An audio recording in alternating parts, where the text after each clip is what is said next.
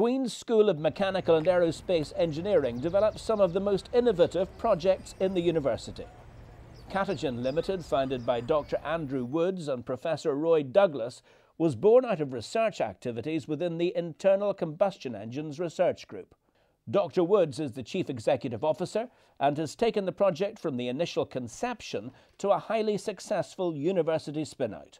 Basically, uh, the Catagen project is a university spin-out company it's based around specific equipment that we've developed here in the university, firstly as part of my PhD and then followed on um, with a proof of concept fund. We've developed technology that will test catalytic converters for the automotive industry.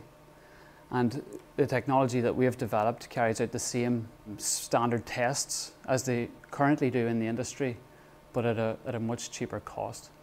Catalytic converters are found in almost all combustion engines. And by EU law, car manufacturers must test their durability first. This is where Dr. Woods believes the Catagen project can improve on current test systems.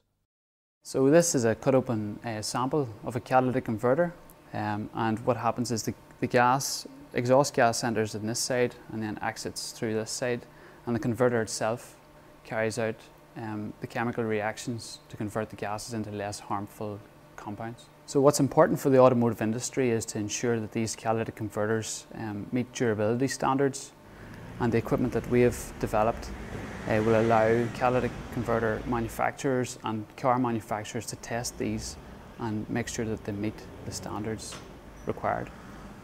With the obvious cost and environmental benefits that the Catagen project offers, Dr Woods is keen to get it on the market. Currently we're just at the point of commercialisation. Um, we're seeking for commercial partners within the industry and we're also um, discussing potential partnerships with uh, venture capitalists and that's to uh, create the seed capital to move the product into production. So far the, the market uptake has been very positive um, with some notable OEMs um, taking a major interest in the technology. Well, Queen's is an ideal incubator for a business such as Catagen. Um, we've re received fantastic support from both the university and InvestNI and recently we, we assisted the university in their application for the Times Entrepreneurial University of the Year award which Queen's uh, won. So all in all uh, the university has played a, a fundamental role in getting us to this stage.